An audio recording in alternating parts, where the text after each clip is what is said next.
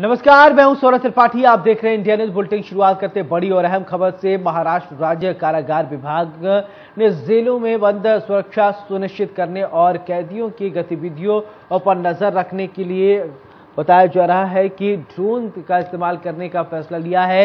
एक वरिष्ठ अधिकारी ने ये जानकारी दी। अतिरिक्त पुलिस महानिदेशक अमिताभ गुप्ता ने मंगलवार को बताया कि महाराष्ट्र में पहले चरण में कुल 12 जेलों में ड्रोन का इस्तेमाल किया जाएगा और इसमें आठ केंद्रीय कारागार, दो जिला कारागार और दो खुली जेल शामिल हैं।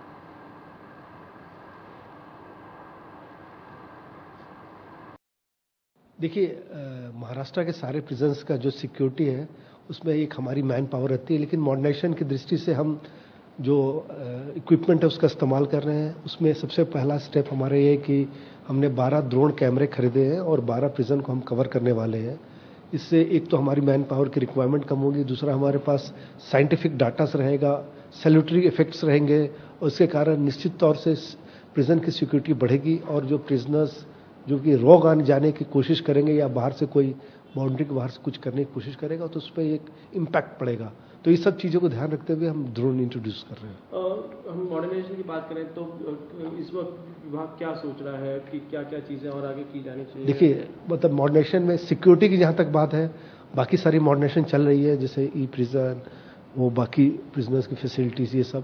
लेकिन सिक्योरिटी में हम दो चीज़ों पर कॉन्सेंट्रेट कर रहे हैं। एक तो जो ड्रोन और दूसरा इस साल हम लोगों ने पूरे प्रिजन्स के लिए गवर्नमेंट ने सीसीटीवी अप्रूव किया है। तो पूरे प्रिजन का सारा चप्पा चप्पा उसको हम सीसीटीवी से कवर करेंगे। So that there is no dispute in future क्या हुआ क्या नहीं। सर्विलेंस सिक्योरिटी के पीछे पूरे प्रोजेक्ट के पीछे काफ़ी खर्च भी होगा। उसको लेकर क्या करें आप देखिए खर्च तो होगा लेकिन कभी भी इस तरह की चीज़ें होती हैं उनका खर्च मैन पावर के मुकाबले कुछ भी नहीं रहता है। और ये अनडिस्प्यूटेड रहती है और इसमें ह्यूमन एरर होने के चांसेस कम रहती है। एक ही बस इसमें कमियाँ रहती है कि इंटेलिजेंट नहीं होता है सिस्टम जो एक ह्यूमन आदमी रहता है, वो इंटेलिजेंट होता है ऑन द स्पॉट कॉल ले सकता है। लेकिन वो तो एक मिक्स एंड मैच रहेगा जो हमारे